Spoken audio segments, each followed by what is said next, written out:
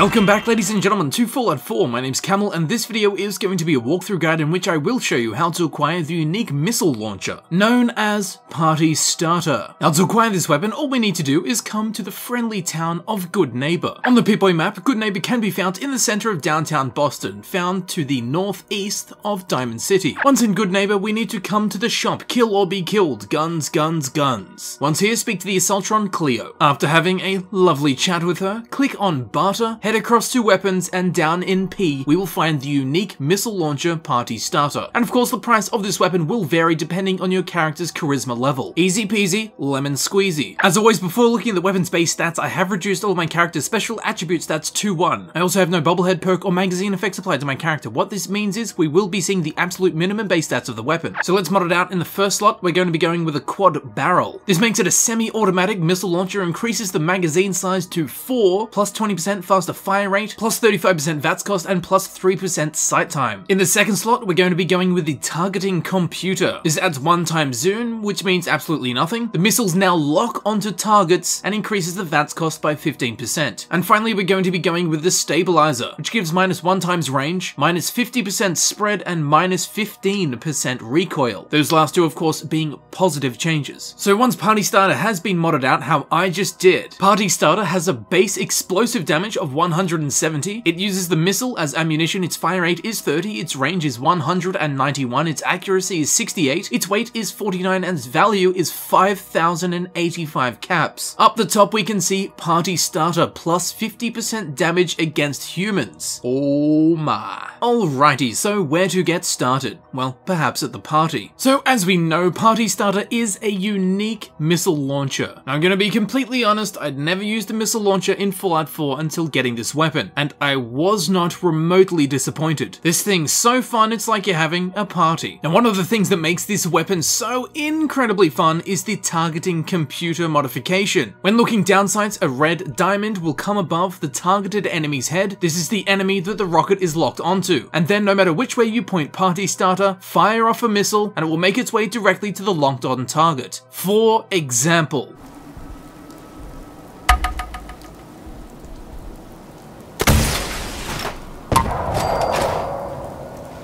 Now, isn't that something? You can also continue looking down sights, locking onto a target, killing that target, and then, while still looking down sights, it will lock onto the next target nearby, provided of course they are generally centered on the screen. So you can stand in one spot and target all the enemies you need to, locking onto them, taking them out, then rinse and repeat until you reach a point in which all of your foes have fallen. And of course, don't forget we now have the quad barrel. So yeah, we can stand there and keep shooting, at least four missiles anyway. But for a heavy weapon like this that shoots an explosive projectile, an ammunition capacity of 4 is really something. So purely in terms of practicality, this thing is insanely useful. Probably the biggest downside is blast radius. If you shoot anything too close to yourself or accidentally hit something that's right in front of you instead of the enemy, causing an explosion near you will damage you. But provided you think about your shots before doing them, the Partystarter is excellent. So let's talk about its insane damage potential. As we know, it has a base explosive damage of 170. Partystarter's damage can be increased by multiple perks. This includes the Heavy Gunner perk and the Demolition Expert perk. So its damage can be doubled twice, then on top of that, provided you don't have a companion, you can increase the damage another 25% with the Lone Wanderer perk, and then of course another 15% with the Bloody Mess perk. So I was able to get Partystarter's damage from its base 170 explosive damage up to 819 explosive damage. Don't forget, if you crouch down and do a sneak shot, you're going to be doing around 2000 damage, which is a lot, especially considering you have an ammunition capacity of 4, which means you can fire off 4 shots pretty much within less than half of a second of each other. Tie into that the locking onto targets, I guarantee that no matter what you're trying to take out, you will take it out with Partystarter. Provided, of course, you have these perks and you have modded it out the way I have. And not only can it shoot 4 shots off quickly, but reloading it takes no more than 2 seconds, which for a weapon that deals such huge damage with such a huge ammunition capacity for a heavy weapon like this, a reloading time of around 2 seconds is insane. Now again, the downside is that you can hit yourself with the blast radius, but on the much more positive side of the same card, you will wreck enemies in a large area of the blast radius. For example, taking out a huge pack of ghouls.